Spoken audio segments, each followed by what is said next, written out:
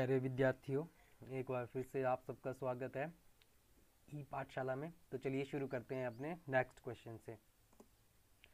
हमारा next question है question number ten what is software and how many types of software software क्या है और वो कितनी तरह के होते हैं? Software is a set of programs and a program is a set of instructions that perform a specific task अब सॉफ्टवेयर क्या होते हैं? Software is a collection of programs बहुत सारे प्रोग्राम्स का एक सेट होता है सॉफ्टवेयर, ठीक है? And a program is a set of instructions और प्रोग्राम जो होते हैं वो सेट ऑफ़ इंस्ट्रक्शंस होते हैं. इंस्ट्रक्शंस बोल लो या कोड्स बोल लो, ठीक है ना? बहुत सारे प्रोग्राम्स को मिलाकर एक सॉफ्टवेयर बनता है। और इन प्रोग्राम्स के अंदर हमने लिखे होते हैं कोड्स ठीक है? इंस्ट्रक्शंस बोलते हैं। और ये इंस्ट्रक्शंस हम लिखते हैं प्रोग्रामिंग लैंग्वेज के अंदर। जिसके बारे में आप फर्दर पढ़ेंगे, ठीक है? That perform a specific task अब ये जो इंस्ट्रक्शंस होती हैं जो कोड्स होते हैं, ये क्या करते हैं? एक खास काम करते हैं, ठीक है? These instructions are written in special programming language in instructions को, यानी कि इन कोड्स को हम एक खास प्रोग्रामिंग लैंग्वेज के अंदर लिखते हैं। अब आज के टाइम जो टाइम में जो प्रोग्रामिंग लैंग्वेज यूज़ हो रही है, जैसे एचटीएमएल है पीएचपी है जावा स्क्रिप्ट है सी एस एस है केस गाइडिंग स्टाइल शीट है, यानी कि इन प्रोग्रामिंग लैंग्वेज से ही हमारी जो वेबसाइट्स बन रही हैं, ठीक है? यानी कि मैं बात कर रहा था प्रोग्रामिंग लैंग्वेज की तो प्रोग्रामिंग लैंग्वेज बहुत सारी हैं, बहुत सारी प्रोग्रामिंग लैंग्वेज है और हर एक लैंग्वेज की अपनी अपनी स्पेशलाइजेशन है, ठीक है? Computer software can be classified into parts अब सॉफ्टवेयर की क्लासिफिकेशन की या की हुई है, यानी कि सॉफ्टवेयर कंप्यूटर के जो सॉफ्टवेयर हैं, उनको वर्गीकृत किया हुआ है दो भागों में, ठीक है? एक होते हैं सिस्टम सॉफ्टवेयर और दूसरे होते हैं एप्लीकेशन सॉफ्टवेयर अब इसका एक डायग्राम है, देखो, ठीक है? ये सॉफ्टवेयर सिस्टम सॉफ्टवेयर होते हैं और दूसरे होते हैं एप्लीकेशन सॉफ्टवेयर जो सिस्टम सॉफ्टवेयर होते हैं, उनमें भी कैटेगरीज हैं, ठीक है? लैंग्वेज ट्रांसलेटर होते हैं ऑपरेटिंग सिस्टम होता है और यूटिलिटीज़ होते हैं। ऑपरेटिंग सिस्टम के बारे में तो आप जानते ही हैं। एक एक करके इन सारे के सारे जो भी पार्ट्स हैं, उनको डिटेल में आगे देखते हैं, ठीक है? अब बात करते हैं सिस्टम सॉफ्टवेयर की। सिस्टम सॉफ्टवेयर क्या होता है? A system software consist many programs that provide an environment for running application software establish a link between hardware and software, means manage all input output devices, ठीक है? अब देखो जो system software का क्या काम होता है कि सिस्टम सॉफ्टवेयर जो होता है, इसके अंदर बहुत सारे प्रोग्राम्स होते हैं कंसिस्ट मैनी प्रोग्राम्स बहुत सारे प्रोग्राम्स इसके अंदर होते हैं दैट प्रोवाइड एन इन्वायरमेंट जो एक ऐसा इन्वायरमेंट प्रोवाइड करवाता है, जिसके अंदर हमारे सारे के सारे एप्लीकेशन सॉफ्टवेयर चलते हैं for running application software establish a link between hardware and software hardware और सॉफ्टवेयर के बीच में लिंक इस्टेब्लिश करते हैं। Means manage all input output devices कहने का मतलब है कि पूरी की पूरी जो भी इनपुट आउटपुट डिवाइसेस होती हैं, वो प्रोग्राम्स उनको मैनेज करने का काम करते हैं। और ये सारे के सारे प्रोग्राम्स को मिलाकर एक सिस्टम सॉफ्टवेयर बनाया हुआ है। ठीक है? अब इन सिस्टम सॉफ्टवेयर की भी अपनी टाइप्स हैं। ये देखो फ़र्स्ट है लैंग्वेज ट्रांसलेटर सेकंड है ऑपरेटिंग सिस्टम और थर्ड है यूटिलिटी प्रोग्राम्स ठीक है? अब सबसे पहले हम बात करते हैं कि लैंग्वेज ट्रांसलेटर क्या होते हैं। Language translators are the programs that convert high level language into machine language अब देखो, जो लैंग्वेज ट्रांसलेटर होते हैं, वो क्या करते हैं? जो हाई लेवल लैंग्वेज होती है, उसको मशीन लैंग्वेज में कन्वर्ट करते हैं। हाई लेवल लैंग्वेज वो होती है जो हमें समझ आती है। जो हम कीबोर्ड के ऊपर देखते हैं ना, सारे के सारे one two three four five six A B C D हो गया। या कोई सिंबल हो गया ऑपरेटर्स हो गए, प्लस माइनस का सिंबल हो गया, ठीक है? तो ये सारे के सारे जो होते हैं, वो हमारे समझने के लिए होते हैं, यानी कि ह्यूमन अंडरस्टैंडेबल फॉर्म में होते हैं। लेकिन जब हम कीबोर्ड से कोई आर दबाते हैं ए दबाते हैं एस दबाते हैं तो कोई आर या एस थोड़ा ना जाता है कीबोर्ड से। एक करंट ही जाता है। जैसा कि मैंने आपको शुरू में एक कॉन्सेप्ट समझाया था कि कंप्यूटर को कौन सी भाषा समझ आती है?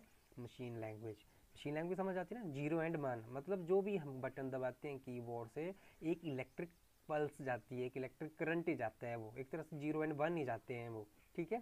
तभी बोल रहे हैं कि उन ज़ीरो और वन को क्या करते हैं? ये language translator these language translator are the programs that convert high level language into machine language अब यही लैंग्वेज ट्रांसलेटर काम करते हैं उन वर्ड्स को, यानी कि उस इलेक्ट्रिक पल्स को मशीन लैंग्वेज में कन्वर्ट करने का। हमने तो ये दबाया था।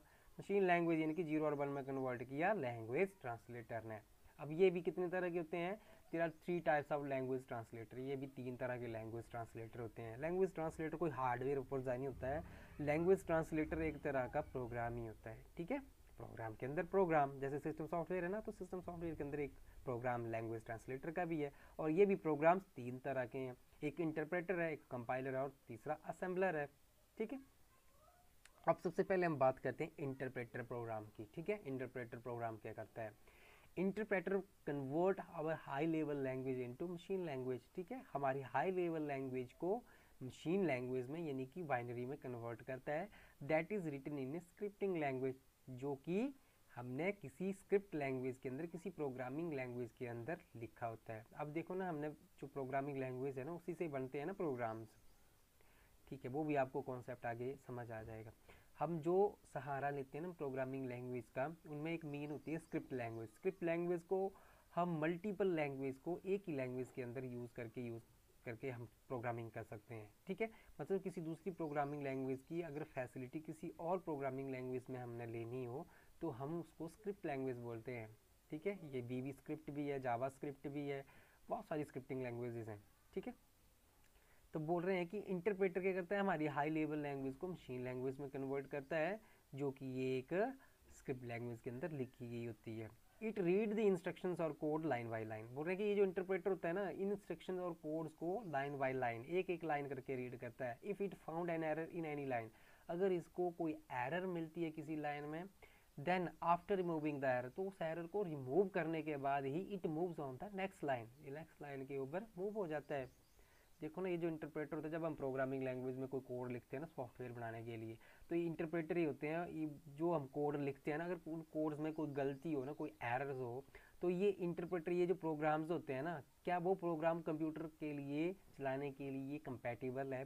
तो यही चेक करते हैं। अगर इसको गलती मिलती है ना, इस प्रोग्राम को, कि जो सॉफ्टवेयर हम बना रहे हैं, उसमें कोई गलती है तो ये डिटेक्ट कर देता है। लेकिन उन गलतियों को ये दिखाता है इंटरप्रेटर लाइन बाई लाइन एक लाइन पे मिलती है गलती तो उस गलती को पहले हमें रिमूव करना पड़ता है, फिर दूसरी लाइन रीड करता है। अगर दूसरी पे मिलती है तो उसको रिमूव करना पड़ता है, फिर ये तीसरी लाइन पे मूव हो जाता है। यानी कि इंटरप्रेटर एक एक लाइन करके कोडिंग की एक एक लाइन चेक करता है ये सॉफ्टवेयर बनाने के लिए प्रोग्राम के लिए, ठीक है? तो ये था हमारा इंटरप्रेटर प्रोग्राम अब बात करते हैं कंपाइलर की।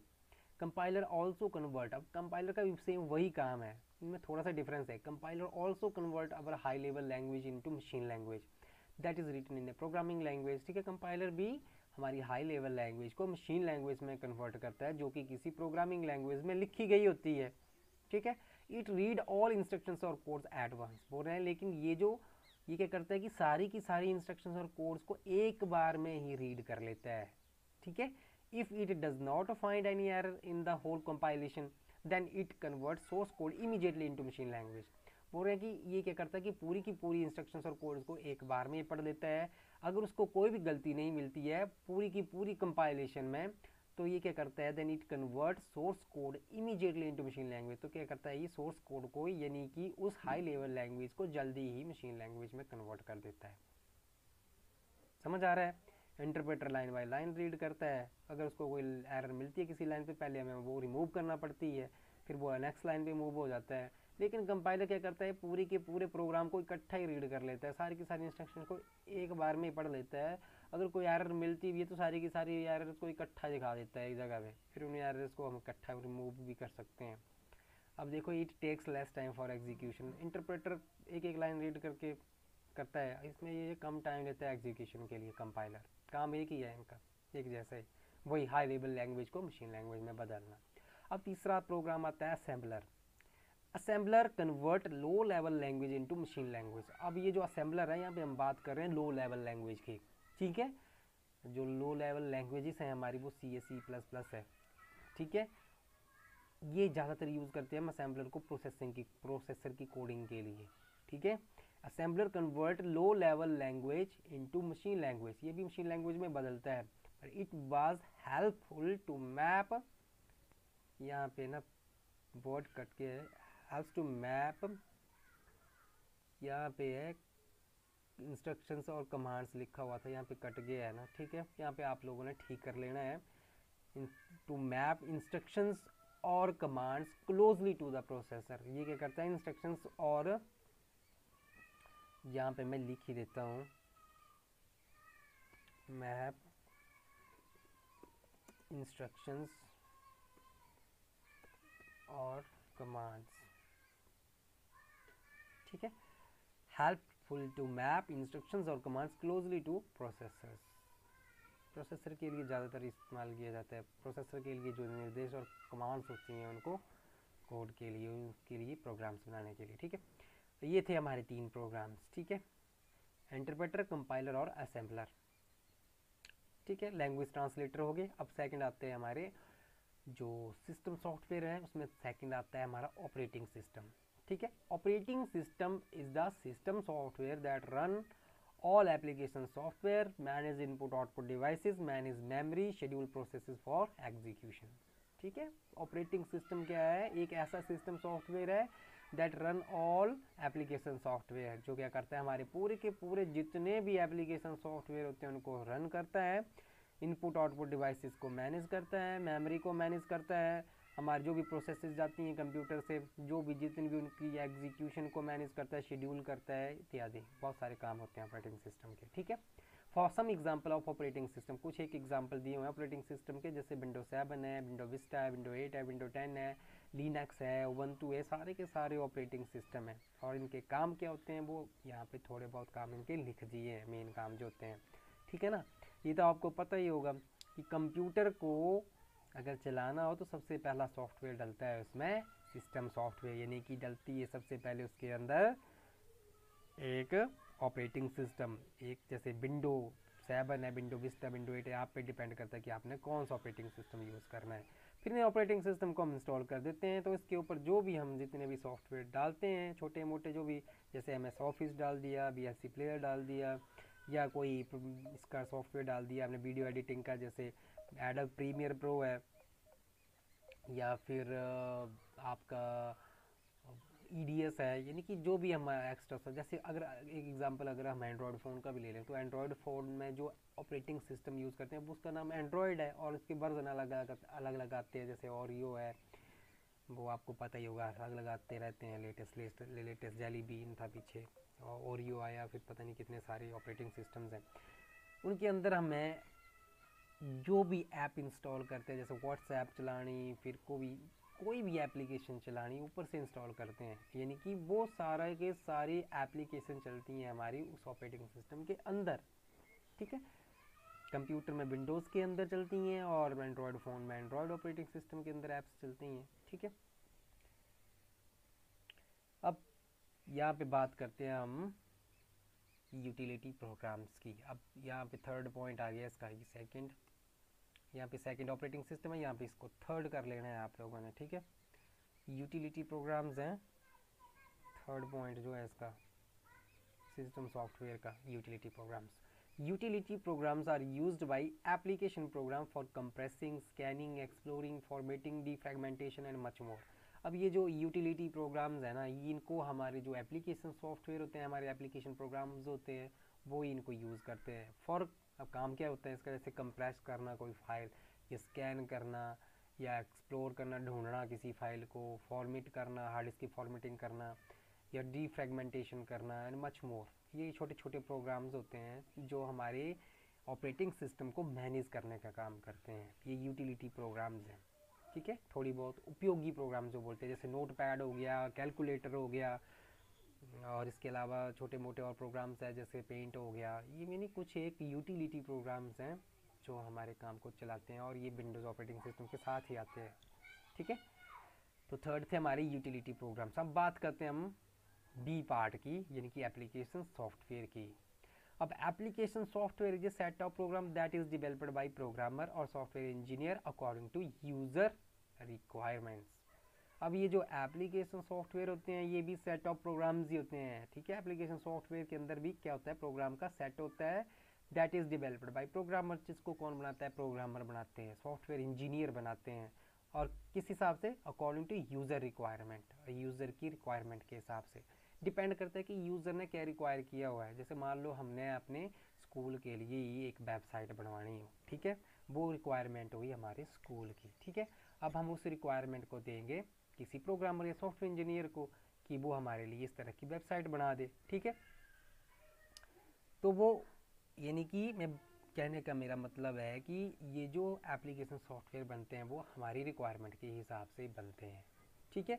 जैसे कुछ एक एग्जांपल दिए हुए हैं एप्लीकेशन सॉफ्टवेयर के, जैसे एम एस ऑफ़िस है।